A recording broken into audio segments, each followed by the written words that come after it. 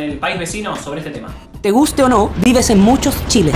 Vives en el país de los que dicen que Pinochet nos salvó, pero también en el país de los que dicen ¿dónde están? En el país de los que creen que el mapuche es terrorista y en el que quiere al mapuche en el Congreso. Vives en un país que no llega a la universidad, pero que hace postgrados en el extranjero. Vives en el país LGTB, en el Chile feminista y en el Chile femicida. En el Chile con pensiones miserables, pero con las AFP llenándose los bolsillos. En el Chile que revive en una clínica, pero que muere en una sala de espera. Por un Chile digno, vota apruebo. Convención Constitucional.